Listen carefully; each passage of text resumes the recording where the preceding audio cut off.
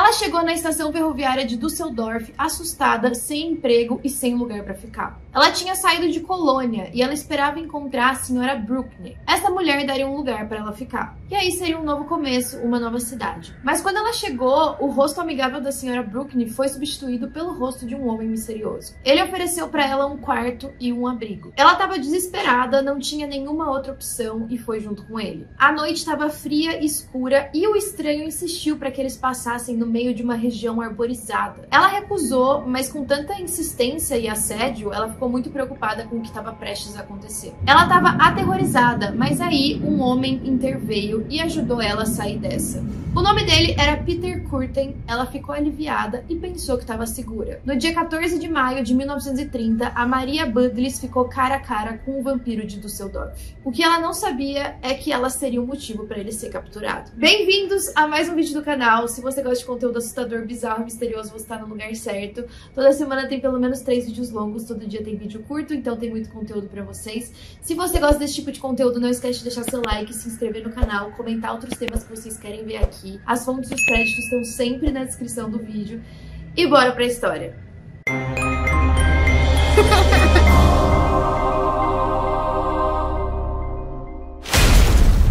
vocês um motivo curioso de eu ter chegado na história do vampiro de Düsseldorf para falar aqui no canal, porque eu lembro que eu já tinha assistido algum documentário que se eu não me engano é o Turismo Macabro da Netflix, não sei, mas eu lembro que tinha um episódio que ele ia visitar uma casa de pessoas que tinham vampirismo, que se consideravam vampiros. E eu lembro que eu achei muito curioso e aí eu fui pesquisar mais a fundo e eu descobri que isso é uma síndrome mesmo, é um negócio médico que as pessoas têm uma vontade de consumir sangue e eles se reúnem semanalmente, às vezes até diariamente, para fazer esse consumo. É um negócio real e não é muito estudado, mas esses caras vão lá, eles se cortam, eles bebem sangue, às vezes de animais, às vezes de humanos, e é um negócio bem controlado, inclusive às vezes dentro do próprio hospital, para sempre ser investigado a origem desse sangue. E apesar de ter algumas pessoas que bebem mesmo, tem gente que precisa ser colocada na veia, então é um negócio muito doido, eu fiquei muito curiosa. E aí, durante essas pesquisas, eu pensei, vou fazer um vídeo de três casos de assassinos que eram considerados vampiros. E aí eu me deparei com a história do vampiro de Düsseldorf, e aí quanto mais eu pesquisava sobre isso, mais eu pensava, não, eu vou ter que fazer um vídeo só sobre esse cara. Então comentem aí se vocês querem um outro vídeo depois desse, de três casos de vampiros, porque é muito curioso. É claro que não são vampiros como a gente vê em Crepúsculo e na mitologia, mas são pessoas que bebiam sangue real. E o Peter Curtin, além de ser considerado um vampiro pela mídia e pelas vítimas e enfim tudo, ele também foi um serial killer. Então hoje a gente vai entrar para mais uma história de serial killer. Como esse caso é muito antigo, não sei se vocês já repararam, mas nos vídeos aqui eu prefiro falar sempre do lado da vítima e não tanto da história da pessoa, né, do assassino. Só que nesse caso, por ser antigo, a gente vai ter que falar mais dele. Ele nasceu no dia 26 de maio de 1883 em Mulheim, na Colônia. Lembrando que os nomes são todos alemães, eu provavelmente vou pronunciar tudo errado. A família dele se mudou para Düsseldorf em 1893. E como sempre, na grande maioria dos casos de serial killers, ele era um dos três irmãos e ele vinha de uma família abusiva com um pai alcoólatra. A mãe também não dava muito carinho nem amor para nenhum dos filhos. E o Peter, desde criança, tinha comportamentos muito estranhos, principalmente porque ele tinha um vizinho que ensinou ele a matar e torturar animais. Hoje, a gente acredita que o primeiro assassinato que ele cometeu foi quando ele tinha 9 anos de idade. Ele estava brincando com dois amigos no rio Reno. E aí, aparentemente, ele empurrou um desses amigos para dentro do rio e aí ele não sabia nadar, começou a se afogar. E aí o outro amigo que tava junto foi tentar ajudar esse que tava se afogando. O Peter foi lá, pegou a cabeça dos dois e afundou, não deixando eles subirem. Na época, esse evento foi descartado pelas autoridades como um acidente de infância,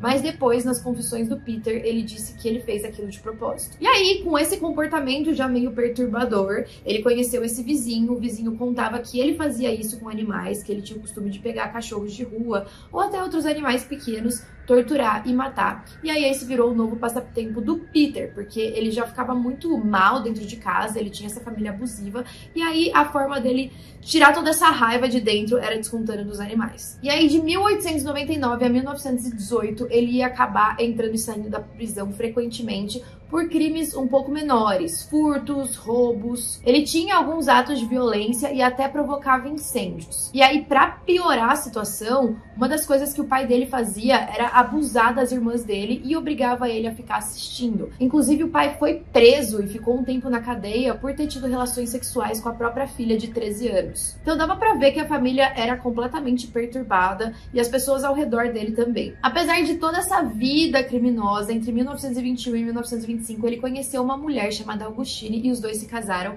mas ela também não era uma boa pessoa. Ela já tinha cometido um crime com um ex-amante dela. Esse ex-amante tinha prometido se casar com ela e deu para trás. Mas ela falou: não, não, começou a stalkear ele, foi até a casa dele e matou ele. E aí, um pouco antes dele conhecer ela, mas depois que ele já tinha saído da casa dos pais, ele estava sem emprego, ele não tinha dinheiro, então ele cometia vários furtos e roubos para poder sobreviver. Em um dia, no verão de 1913, ele entrou dentro de uma estalagem. O objetivo entrando lá era para cometer esses roubos, mas quando ele entrou, ele não encontrou nenhum dinheiro e nenhum objeto de valor. Porém, ele encontrou a filha do dono de 10 anos de idade. O nome dela era Christine Klein e ela estava dormindo. Ele sufocou ela e ela lutou muito bravamente, mas ela não tinha chances contra ele, que estava usando uma faca.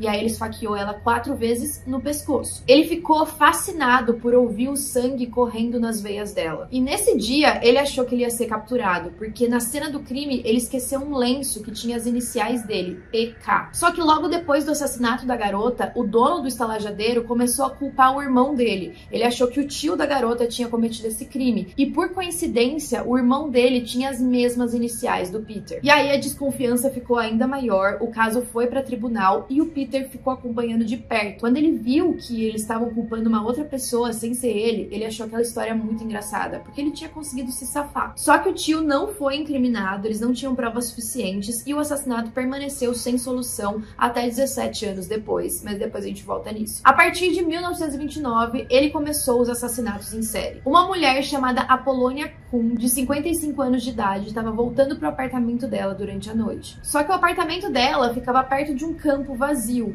e já era tarde, então o Peter aproveitou esse momento. Ele usou uma tesoura para esfaquear ela repetidamente no rosto, nos braços, nas mãos e na nuca. Ela gritou desesperadamente e isso começou a atrair a atenção de outras pessoas que estavam na rua e o Peter fugiu. A Apolônia precisou de 18 pontos, mas ela sobreviveu, infelizmente com traumas pro resto da vida. Até aí, ninguém estava desconfiando de um assassinato em série. Mas aí, só cinco dias depois, uma garota de 9 anos chamada Rosa Ollinger se perdeu. Era mais ou menos 6 horas da tarde e ela ficou aliviada quando viu um cara chegando perto perto dela, que parecia ser bem gentil. Ela acreditou que ele ia levar ela para casa. O Peter esfaqueou a Rosa 13 vezes usando uma tesoura e essa arma se tornaria a preferida dele. O corpo dela foi encontrado contra uma cerca de madeira. E depois que ele cometia esses crimes, ele voltava para a cena para apreciar e saborear o que ele tinha feito. Ele tinha muito prazer naquilo. Ah, um detalhe que eu esqueci de mencionar é que a primeira garotinha que ele matou, ele também abusou dela sexualmente, mas depois de morte. O corpo da Rosa só foi encontrado quatro dias depois. E depois desses quatro dias, o Peter cometeu outro assassinato. Dessa vez era um homem, o nome dele era Rudolf, ele tinha 53 anos e foi atacado nas costas. E aí agora, nesse ano, a gente já tá ali em 1929, o Peter já era casado, a esposa dele nunca desconfiou de nada. Ele conheceu uma empregada doméstica chamada Maria Hans. Os dois passaram um tempo conversando, flertando e a Maria começou a se sentir segura para fazer planos com ele. No domingo, dia 11 de agosto, os dois se encontraram e passaram um tempo caminhando, olhando os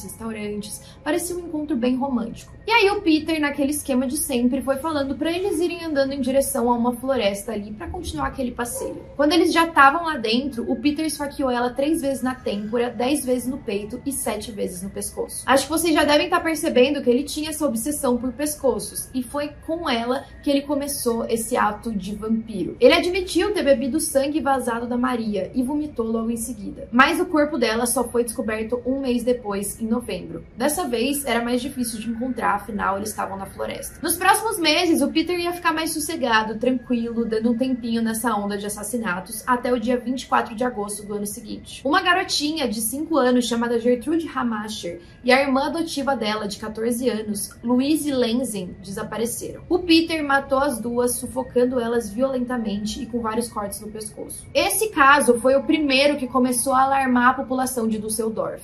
Eles já estavam cientes de que tinha ali um assassino atuando, mas ele tinha ficado em ato durante alguns meses, o que tranquilizou um pouco a população, mas mortes tão brutais com duas crianças apavoraram todo mundo. No dia 30 de setembro, os policiais encontraram um corpo boiando no rio Reno. O corpo era de uma mulher chamada Ida Reuter. Ela também tinha caído no charme do Peter. Os dois marcaram um encontro. Eles foram jantar e depois passear, e foi aí que ele atacou ela com vários golpes na cabeça e ela também foi estuprada. Dessa vez ele usou uma nova arma, um martelo. Todos os assassinatos que ele cometiam eram extremamente sangrentos. Não fica muito claro se em todos os casos ele chegava a beber o sangue das vítimas, mas em grande parte sim. Também teve um caso em que ele conheceu uma mulher de 22 anos chamada Elizabeth. Os dois também tiveram encontros como se ele tivesse interessado nela. E aí ele atingiu ela oito vezes com uma arma. Eu acho que nesse caso ele achou que ela tinha morrido e deixou ela toda ensanguentada, mas o corpo dela foi descoberto no dia seguinte. Infelizmente, ela acabou morrendo, ela foi pro hospital, mas ela já estava sem consciência e aí ela morreu antes de recobrar essa consciência. Agora, em novembro de 1929, o Peter, que frequentava a igreja, conheceu uma outra garotinha de 5 anos chamada Gertrude Alberman. Como ela era uma criança, ela era bem inocente e confiante do que ela estava fazendo e aceitou dar um passeio com ele. Ela foi esfaqueada na horta de uma fábrica com 34 facadas e o Peter também tentaria beber o sangue dela. O corpo mutilado foi encontrado dois dias depois. Vocês lembram da Maria Han, que foi aquela que ficou na floresta e que o corpo demorou um pouquinho para ser encontrado? Vamos voltar para essa parte. O Peter começou a ficar insatisfeito que o corpo da Maria não tinha sido encontrado. Ele queria ganhar os créditos e a glória por ter cometido aquele assassinato. E ele achou que a polícia estava demorando demais. Ele estava muito ansioso para a polícia ir falar de um novo assassinato e falar que tinha um assassino à solta. Ele queria se ver na mídia. Então, ele enviou vários esboços e cartas tanto para a mídia quanto para a polícia. Ele apontava a localização exata do corpo da Maria. E aí o corpo dela foi recuperado no dia 15 de novembro, graças ao desenho que ele fez. E agora a polícia estava vendo que estava lidando com um assassino em série. E, inclusive, o caso do vampiro de Düsseldorf foi o que abriu os olhos para a polícia europeia de que esse termo assassino em série existia. Ah, e outra coisa que eu esqueci de mencionar, quando o Peter era mais novo, ele começou uma obsessão bizarra em ter relações sexuais com animais. Isso incluía cabras, ovelhas, e ele tinha mais prazer ainda quando ele conseguia esfaquear esses animais enquanto estava tendo relações sexuais. Então ele tinha muito prazer em ver aquele sangue jorrando. E aí crianças, mulheres e homens não eram as únicas vítimas do Peter. Em dezembro de 1929, ele cortou o pescoço de um cisne e ele também tomou um gole de sangue do animal, completamente doentio. Ao longo de todos esses assassinatos, também tiveram vários estupros, vários incêndios criminosos. Às vezes, o Peter sabia que tinha uma família dentro de uma casa e ele colocava fogo de propósito para ver eles queimando lá dentro. Só que ninguém parecia ser capaz de identificar o Peter, que era era tão gentil. Na cidade, agora todo mundo vivia com medo e muita raiva. Ninguém queria sair de casa e parecia que essa história nunca ia acabar. A polícia não tinha nenhum suspeito genuíno. Só que depois do assassinato da Gertrude, a garotinha na igreja, e também da descoberta do corpo da Maria, um ex-colega de cela do Peter chamado Wilhelm Hoffer apresentaria ele como suspeito. Mas a causa da captura do Peter mesmo foi a Maria Budlis, aquela do começo da nossa história. A Maria, quando chegou desesperada buscando abrigo, imaginou ter encontrado um cavalheiro, um príncipe para salvar ela, e ela foi com ele até o endereço dele. Só que ela começou a ficar meio desconfortável. Ele parecia um pouco estranho, apesar dele estar tá querendo ajudar. Então ela começou a falar para ele levar ela até um albergue para ela passar a noite. Ao invés disso, ele conduziu ela até a floresta Grafenberg. Lá ela foi sufocada e assediada sexualmente. Vocês imaginam como deve ter sido para ela ter acabado de chegar numa cidade nova, esperando recomeçar a vida, e na primeira noite ela é vítima de um crime terrível. Só que o Peter deixou ela viva e ilesa. Não ilesa porque ela tinha sido abusada, mas enfim, ela não estava com ferimentos muito graves. E aí a Maria foi lá e escreveu uma carta para aquela mulher que deveria ter buscado ela na estação de trem, contando tudo o que aconteceu. Ela também disse que ela suspeitava ter encontrado o vampiro de Düsseldorf. Lembrando que nessa época o nome dele já estava em toda a mídia, estava todo mundo buscando esse cara. Só que essa carta foi entregue por engano para outra família que tinha um nome parecido, a família Brugman. E aí rapidamente eles entregaram a carta para a polícia. Depois dessa busca por evidências, a polícia pediu para que a Maria confirmasse o local do apartamento do Peter. Só que o Peter tinha pegado a Maria investigando o bloco de apartamento dele alguns dias antes, então ele foi esperto. Ele admitiu todas as ações dele para a esposa e por isso justificou uma mudança de apartamento. E a polícia também cometeu alguns erros. Eles perderam tempo indo nesse apartamento antigo e o Peter sabia que eles estavam atrás dele. A polícia enviou uma intimação e aí isso deu motivos para ele fugir. O Peter e a Augustine foram se encontrar por uma última vez, mas a polícia conseguiu interceptar uma comunicação dos dois e a Augustine também disse para a polícia o que o marido dela estava fazendo. No dia 24 de maio de 1930, ele foi preso. Ele não resistiu à prisão e até fez uma confissão bem orgulhosa. Inicialmente, ele tentou revogar essa confissão, mas depois a polícia conseguiu depoimentos de outras testemunhas. Também foram encontrados objetos escondidos que pertenciam às meninas assassinadas dentro da casa dele. E a polícia também conseguiu pôr as mãos em algumas armas do crime. E aí ele não teve escolha a não ser confessar tudo e ele contou em todos os detalhes o que ele tinha feito. Ele também revelou o paradeiro de quatro outros martelos que ele tinha comprado com a esperança de usar em outras vítimas. Eles também conseguiram provar que aquelas cartas recebidas pelo assassino eram do Peter. Ele passou por uma análise psiquiátrica e acreditam que o número de vítimas que ele fez era pelo menos 30. Não eram 30 que foram mortas, mas 30 envolvendo os incêndios, os estupros, enfim. No dia 22 de abril de 1931, o júri condenou ele à morte. A sentença foi por nove casos de assassinato e 15 anos de prisão por outras sete tentativas. Ele foi decapitado na prisão de Colônia.